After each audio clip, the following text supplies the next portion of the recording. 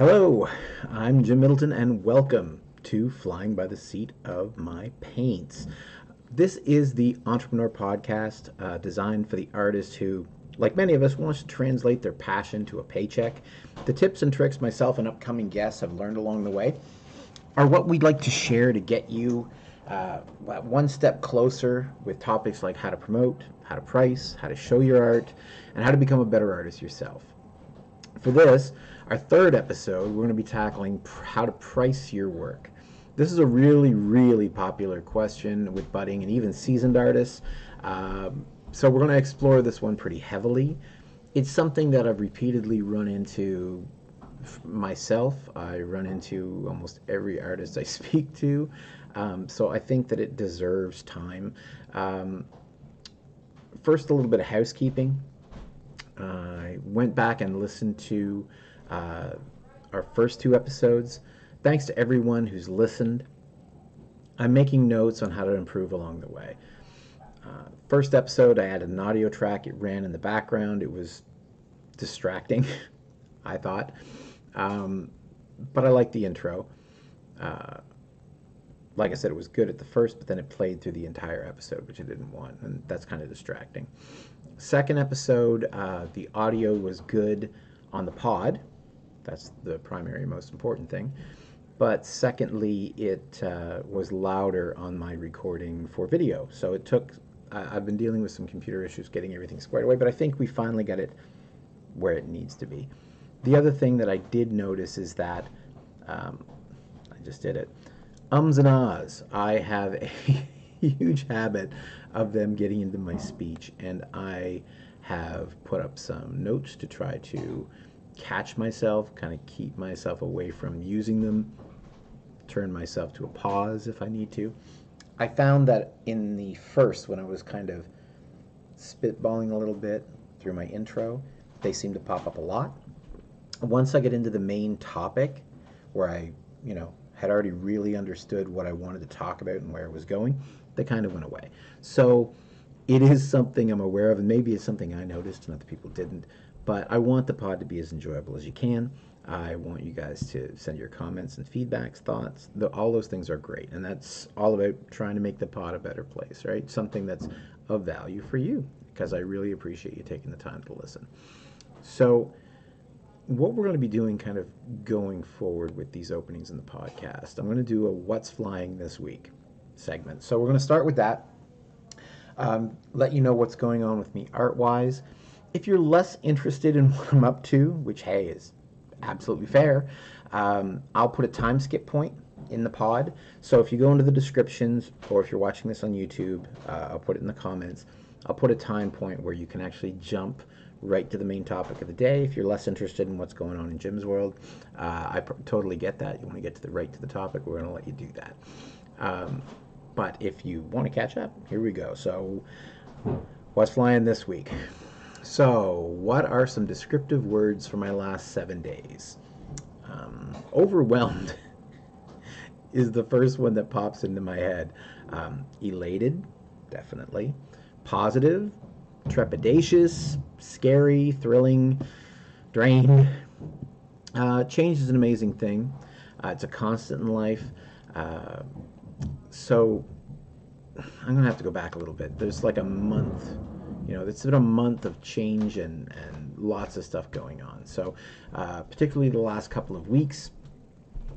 Going back even a little bit further, we had the pandemic, which drained me horribly creatively for months also caused the local farmers market where I've been set up uh, for almost two years.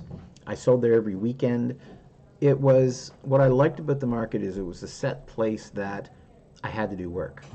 I had well we were open from eight until four on um, on Saturday and then from nine until four on Sunday. So I had kind of a guaranteed seven, eight hour window twice a week where I sat at my table at the market with tons of art around me and painted. I, I live painted. So I always had, you know, 15 hours of solid paint time blocked out every week.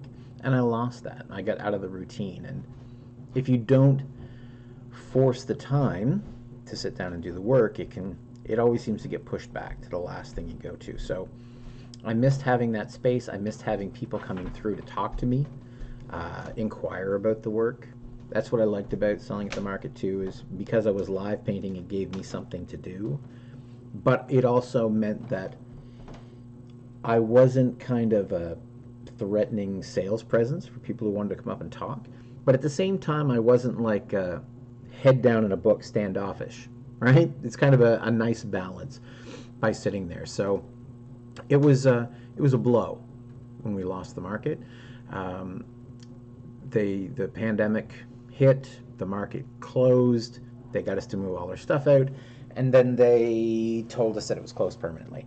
And I get it, the guy probably could make more money renting out the space, um, you know, to somebody else as opposed to, you know, a variety of ever changing vendors who are trying out their own small business to kind of get it off the ground. But it was a very valuable space in the city, and it was something that was personally valuable to me, and I think was valuable to the community as well. So, um, you know, when it closed permanently, it also killed a big source of income for me. Um, then, about a month ago, the company I worked for uh, had a client I was supporting cancel their contract. They canceled their contract. I got laid off. Um, I decided to try and, and take the time to focus solely on my art as long as I could. Um, I'm not going, you know, you get into kind of doubts in your head. Can I, can I do this? I mean, we all have imposter syndrome. If you're, if any artist worth their salt, probably deals with that. But um, you've got to put the time in. And if I have time now, that's what I'm going to do. I'm I'm I'm working more every day than I did ever before. But you need that that income coming in. So we're juggling that over the next month or so, see how that works out. I will look at other options if I need to. I'm always going to support my family, but um, having both the market gone and then my steady source of income job also gone, suddenly things are all kind of up in the air. Um, at the same time, living here in New Brunswick, Canada, our situation overall has been fairly good uh, when it comes to the pandemic. We flattened the curve fairly early. We've started cautiously opening back up. Part of that uh, is uh, is why I've, you know, what started the whole conversation. I had a local businessman and politician uh, come to me to ask about the market and how it affected me and, you know, how I felt it affected the community as a whole. And, uh, you know, that conversation, which was two weeks ago this past Tuesday, so it's about two and a half weeks ago, from that led to me reaching out to other vendors I knew at the market, to forming a board of directors, who again are all putting in their own time. We're not getting paid for this. Uh, to rebuild the market. Um, so we went from a conversation to in under two weeks, a beautiful location with around 20 vendors that had a fantastic showing. We had, I don't know if we had a thousand people through the door. We were open from 8 till 2, but I know we had over 500 by 11. So I'm thinking we're in the some 7 800 range. The bar where they're they've got a huge open room where they're letting us set up the market. They uh, normally are never open in the morning for breakfast. It's kind of an evening kind of place. Uh, they're also a beer brewer, they uh, opened for breakfast for the market. First time they've ever done it. Didn't expect a whole lot. They did 160 breakfasts. Awesome. So, you know, getting positive feedback from the community, getting positive feedback from the people who are willing to give us the space. And of course, we have an election cycle coming up, so we have politicians and businessmen that are all kind of interested in COVID recovery, business development, and the market as a whole is really kind of a business incubator for, uh, you know, for 40, 50 bucks, somebody can take their wares and try it in a market where hundreds of people are going through. set up their table, talk to consumers as they come in through, let them know what they have to offer, show them whatever they have local. And we wanted to really kind of set ourselves apart from the yard sale flea market crowd. So we actually named our market the Northside Creators Market. So it's very much focused on the idea of creators and growers, you know, people that, um, yeah, people that have their hands heavily involved in what they're making, growing, or, and selling, right? So um, that that I think has been a good thing as well. And we have to kind of figure out where it goes from here. Um, we've already put some significant investments into it, uh, myself and the other board members. We've already acquired a lot of materials and stuff that we need for it. Um, we're in the process of incorporating, setting up as a nonprofit. We're talking to people about um, uh, being able to have a permanent space and maybe maybe finding some government funding that can help support that. It's a lot, and it's occupied a lot of my mind space. It's uh, yeah, it's something that art-wise, it's great. What I'm what I'm really trying to do more than anything is not say no to an opportunity. Right? It seems like a roundabout way to support my art, but I do believe that it does I believe that it's great experience for myself. Certainly is great on my resume that I've not sat at home and done nothing over the course. I am I'm working, whether I'm getting paid for it or not. At the moment, it's really about what we're trying to create, how it can benefit the community, and you know, in a sense, benefit myself and the other board members. So that has, you know, it's been a ton of work managing it, managing my art, my podcast, editing the video version, working on commissions. We're going to do a motivation uh, podcast topic, I think, here soon. Um, but I wanted to touch on one point. Everybody is different, but when I get overwhelmed, I feel like there's so much to do, I can shut down, I can lock up. It's so daunting to try to uh, get everything done. Uh, the whole where do I start mentality. I joke with my daughters um, because she's she's doing a lot of creative projects. Uh, one, well, both of them. One is doing um, character creation. Another one's doing animation. Another one is creating it like a mascot fursuit for herself, like building it from the ground up. It's crazy, but it's daunting. Just like what I'm doing right now is daunting it seems so overwhelming. Where do I even start? And the joke, what I always tell her is, you know, the old joke, how do you eat an elephant? One bite at a time.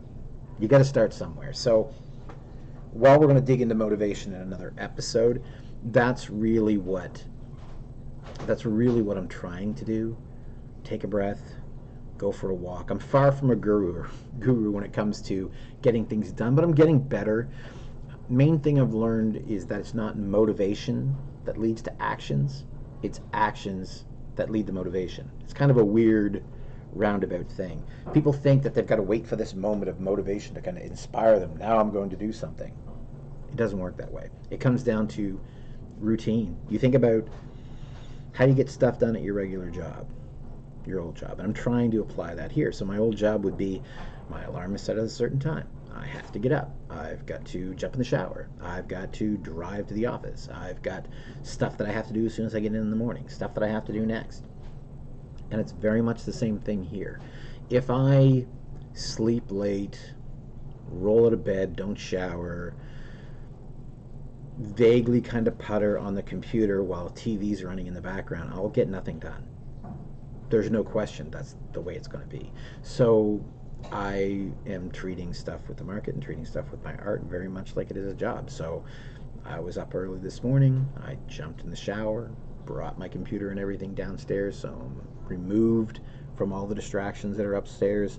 I've been struggling with my with the pod because I had the video all done from last week's episode and was bound and determined I wanted the video version done before I put up the next one, which pushed everything back and ended up being late this week, which I will not allow to happen again because that's a frustrating thing for me, not being able to deliver, even if they are just um, limitations and restrictions I've put on myself, I'm still worth meeting those deadlines.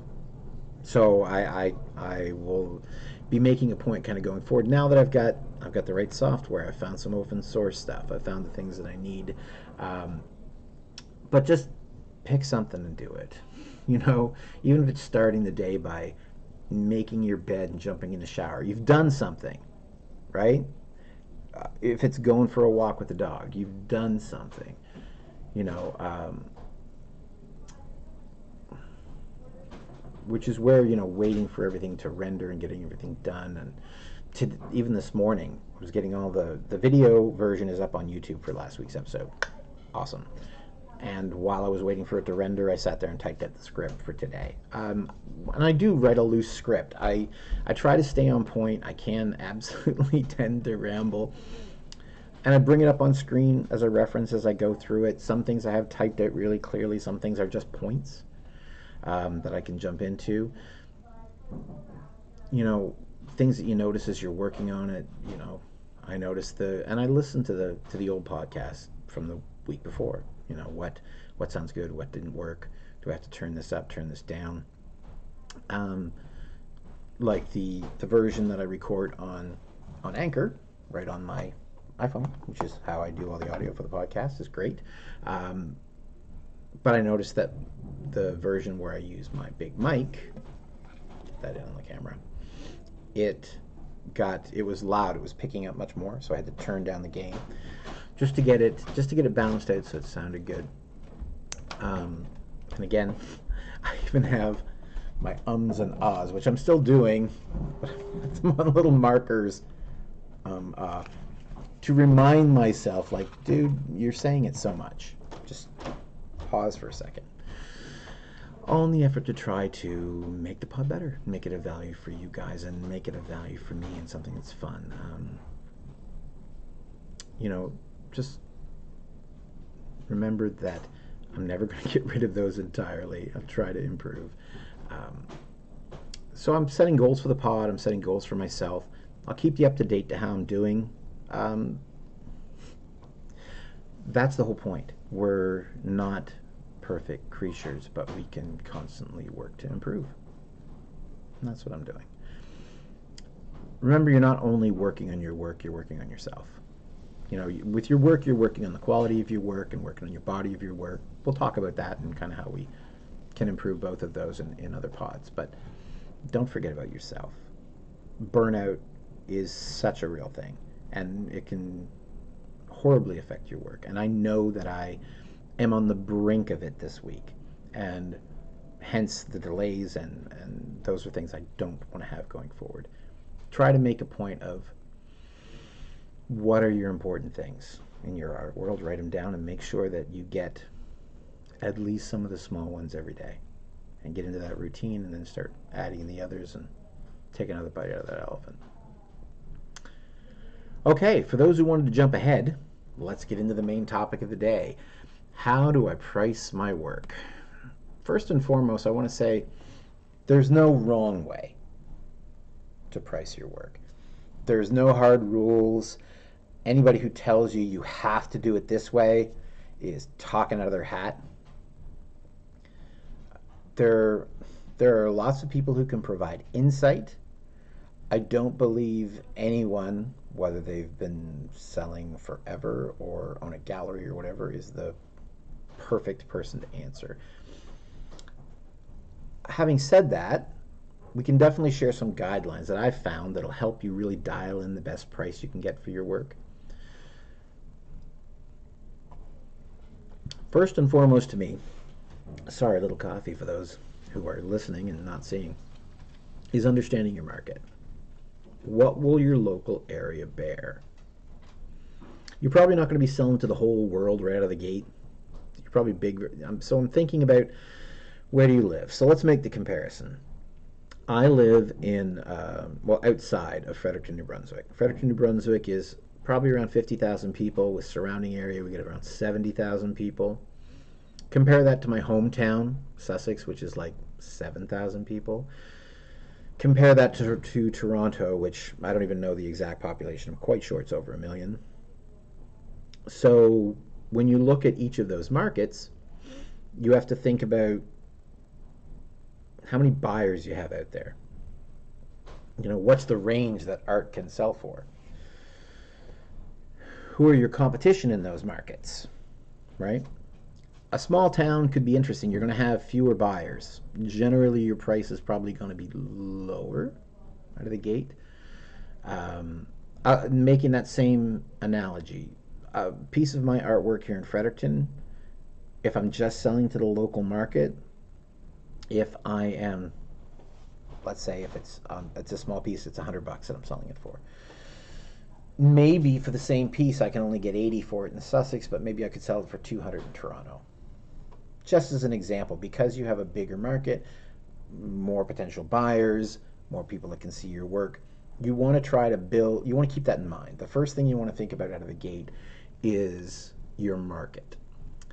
Um, so what you can do in the way, uh, we'll go back to, let's see, talking about market, but I want to talk about the outlooks first. We'll, we'll dive into the market, market in a second. I've seen two common outlooks from my artist peers when it comes to where they start with their pricing. They're either one, timid, as many artists are. They start small. Probably they're undervaluing their work, taking whatever they can get.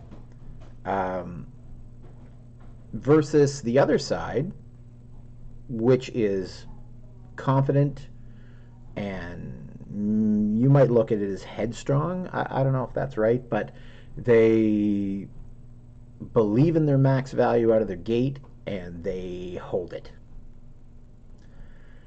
So, and I'll use that example because I've seen people that, here's the thing perception is everything. So, if you've got confidence and max value out of the gate, which my mentor, I have a, I have a painter in the city who I'm incredibly fond of and has been very helpful to me along the way. Uh, if you ha- if you don't know, Angel Terry is in Fredericton, New Brunswick. Check out his work; it's incredible. Um, he doesn't self-promote nearly as much as he needs to, but he had the confidence out of the gate that, you know, he said, "This is the amount of my work. This is this is the size of, for this size of piece. This is what I charge." And held it from the get-go. That's my price. And he said, you know, first four months, six months, maybe close to a year, hardly sold anything, you know, barely anything at all. But when people sold, they perceived a value in his work. His work is, is worth X. So that's, you know, he, his artist, his art is worth this much, right? Because people really kind of perception is everything. If you tell them that's what it's worth, that's what it's worth versus starting really low, maybe too low, then people might look at your artwork as, for lack of a better term, like yard saley. Right? Oh, it's just, oh, it's a little this, you know. And that's not talking about skill set. That's not talking about the results of the work. That's not talking about your effort. That's just your own perception and what you've put on to people. And those are the two most common things that I see. And and again, neither is right nor wrong. It's just the path of how you get to, you know, how you're going to then price your work. So what what did I do? What I did was I had no idea where to start. As most of you probably do. So I went out and went to a local restaurant that had an art auction they had literally dozens of artists with work up. I walked through the entire auction with a little notepad and a pen. I think actually I could look online. They had all the paintings up with prices online and the sizes. So I made a grid. And I'm like, okay, here's a good sampling of artists in my city. Some more established, some very much new and what are they charging? And I figured out what they're charging for their work and then found an average and then set myself a little below average. to start. I'm like, because nobody knows who I am. What's my starting point? Where do I even begin? And then I set my price and built up from there. So I kind of told the market out of the gate that, hey, I'm new. Uh, I'm new, so my prices are a little bit lower than a lot of the artists you've seen in the area. And then as people bought my work, my prices went up. And now I'm probably above average, certainly not at the top of what I see in my city. But you you are again setting the standard for your pieces. You're always going to have somebody go, "Oh my god, you're charging that much? Why would I pay that?" And in the same breath, you're going to have somebody else come by maybe 5 minutes later go, "Wow, your prices are really good." So you can't let you know any one person set your pricing. You can't. You have to really kind of think about where you fit in the market space, um, how you want to be perceived, and how much time do you have. Like, do you want to get start selling today? Then you need to think about where we talked about last episode. What do I sell? Where do I sell? Getting into different price point things with your art, having smaller pieces. You know, whether they're repli- like if you do a big statue, maybe you can get smaller resin replicas made. If it's, you know, paintings, then you know maybe you do some small, little one-offs that don't take you very much time to do. Maybe you do prints. I do prints. I make magnets. But having small impulse buys, having love, hey, that's not a bad price. Hadn't planned on spending it, but yeah, I love that. I'm going to buy it. And aspirational things, things that, man, that, that costs a lot, but I'd really love to have it. And they think about it a lot and save, and it becomes like a discussion point in their brain. You want to have multiple levels that you can sell at. So you want to think about that with your pricing. If you want to sell right away, you need those things right out of the gate. If you are not in any kind of urgent rush, you can certainly take the strong, confident route. Look at those prices like I did. Hey, these are the people that are at the top. I think my quality is of similar level. That's what I'm selling at. One thing I will say, no matter what approach you take, I recommend generally not backing off prices. This is one of the issues I have with there's an auction that I attend regularly. They're wonderful people. I love the auction. The challenge is I'll put in a big piece that is priced by my pricing accordingly. Uh, so it may have a large price point because I do big pieces a lot, and and my the auctions generally want my big pieces. The challenge with the uh, auctions is, and I've talked to buyers. That's another great thing you should always do. You should always talk to buyers and find out how they buy, how they're what about art excites them. And what I was told is they go to the auctions, they buy the smaller pieces, generally at full price because you have to pay full price to get them, otherwise you're bidding. And they bid on the big and hope the bid doesn't go too high because they know they're getting a great piece of art at a low price point. And another artist that I know who I, I respect told me flat out they stopped putting pieces in the auction because they're like, if my piece costs $1,600, but they get it at the auction for $900, well, my piece that size isn't worth $1,600. It's only worth $900 because I got it for nine. So people, rather than paying you what your art is worth, they'll pay for what they can get it at. And it kind of, in a way, sets the value of your work. And because of that, I've actually had pieces in the auction that I've bought back rather than let them go at that price point. I know not everybody can afford to do that, but that's something that I keep pricing in mind a lot when I'm thinking about what is my work worth, what do I want to charge. It's important, you know, kind of figuring out because again, I'm going to say it again, I'm going to say it again, I'm going to say it again. In your local art market and online as you build it up and you get bigger, perception is everything. People believe the message that you tell them, your other buyers tell them. The impression they get out of what you do is is is everything. So, so you've got a good handle on your market. Then, how do I find my starting price for anything? There's a couple of methods for calculating price for artwork. I'm going to talk a lot about paintings and drawings because it's what I do the most. You can apply this to any crafts you're doing, any, any creative projects, be it sculpture, be it whatever. These are a couple ways you can do it, and I'll tell you how I found my starting price. So you can calculate with time and materials. So when I say time and materials, take all the materials, all the costs of whatever it was to make what you made. Then how much time you, did you put into it? So let's say I want to make $60,000 a year with my artwork. Let's pull that out of the air because it's probably close to what I'd like to do. I'd like to pay all my bills and make a decent living as an artist. If I want to make $60,000 a year, if I was working a regular 9 to 5 job, this is a good little math thing you can do in your head. You need to be making about if you want to make 60,000 a year, you got to be making about $30 an hour. If you want to make 50,000 a year, you got to be making about $25 an hour. You want $100,000 a year, you need to be making about $50 an hour. So I apply that, you can apply that math to your cost. So if I need to make, if, if my cost of my materials is, it's probably low if it's painting, let's say maybe $5 because it's a small canvas. Um, and I yeah, let's say it's let's say it's a small small canvas around five bucks, and it takes me an hour to do the painting. Then I'm starting out at a price of 35 bucks. If that's how you want to do it. If I'm making more per hour, then I apply more per price.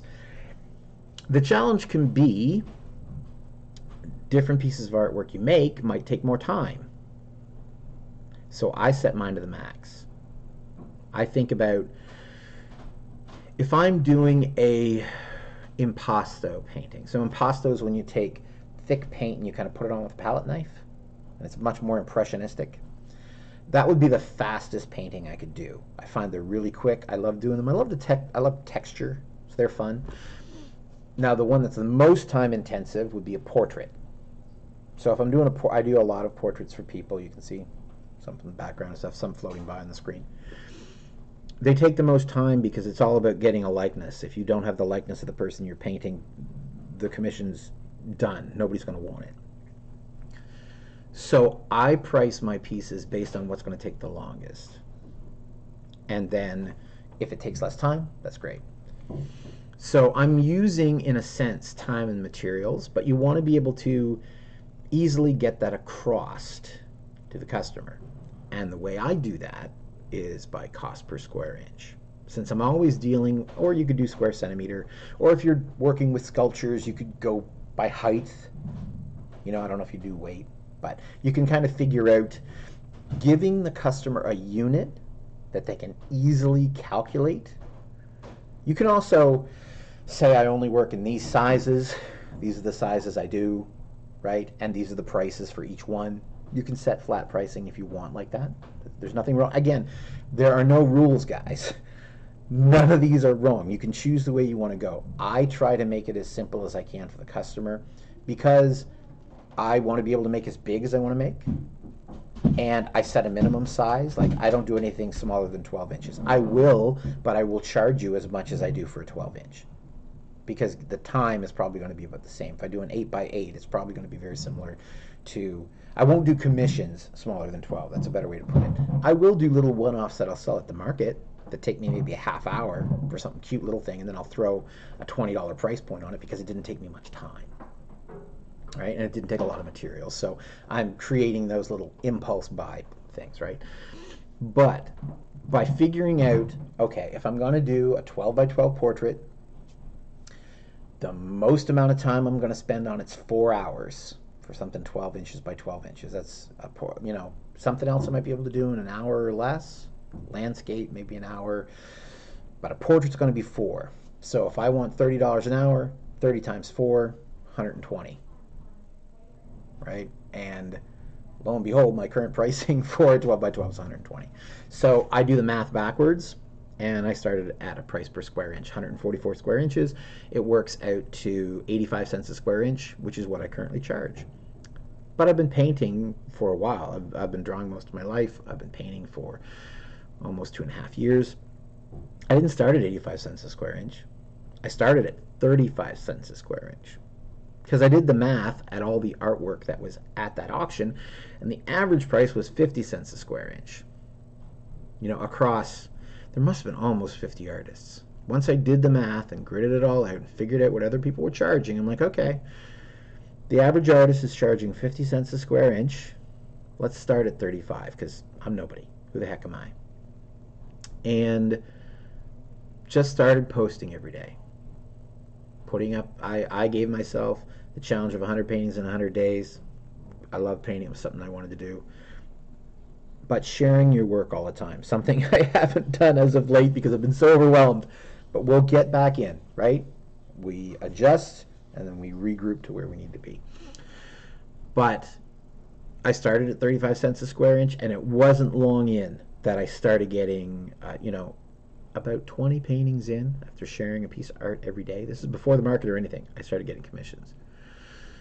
So originally, you know, at 35 cents a square inch, that meant that, you know, they were paying maybe 50 bucks for a 12 by 12, 50, 60 dollars, hardly anything at all.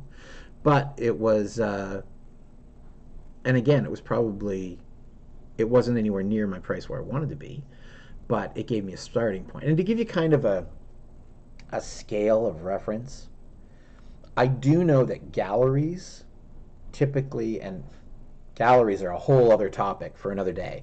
Galleries are dying, kids. You're only going to see provincial or statewide galleries here in probably the next 10 years or so. There are so many other ways to sell your artwork. Get out there and do them all. And we're going to talk about that as well in another podcast. But a gallery typically, as a rule of thumb, they're going to take 40, 50% of whatever they want to sell. So they aren't even going to talk to you until you come in at over two, three dollars a square inch. Some don't even talk to you till you're five dollars a square inch. I'm at 85 cents. I, I, my paintings sell for a decent price, right? But I'm nowhere near the level a gallery would typically even consider me. But I'm actively making a living with my artwork. So what I did is I started at 35. I went up fairly quickly to 50. Stayed there for quite a while. Then I went up to 70 cents a square inch. Then 85. And actually, I'm really considering soon going to a dollar uh, it, it makes sense with my time.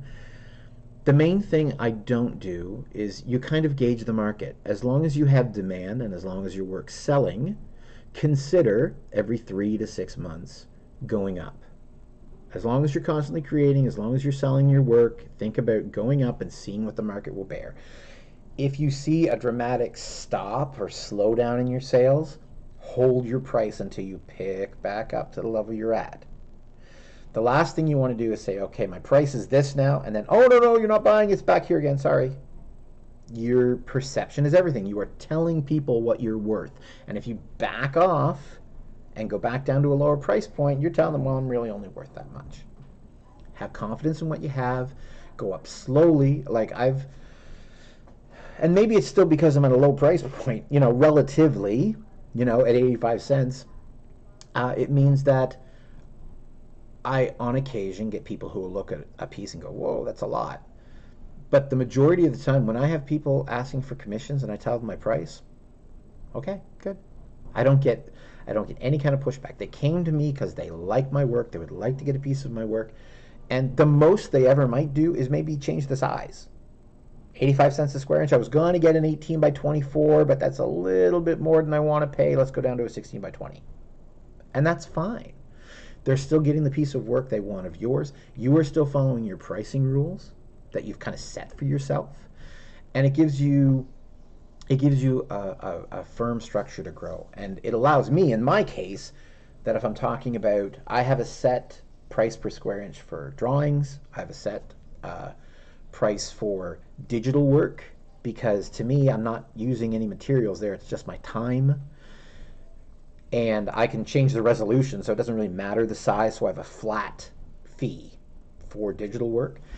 But if I'm doing painting you know that whether I'm doing a 12 inch by 12 inch or the, what I'm working on right now which is 48 inches by 48 inches it's massive it's 85 cents a square inch. I charge across the board and it's an easy way even if you get into weird sizes, somebody wants like they've got a big, long, wide mantle and they want a narrow painting that's really wide. You can get custom stuff made. Because you have a formula, you can apply it. Right? This is what I charge per square inch. You do the math. This is going to be your final fee, and you can easily do it out. So that's that's why I like that format. You can certainly use any of the other ones that make sense to you, but you do need a structure in your pricing.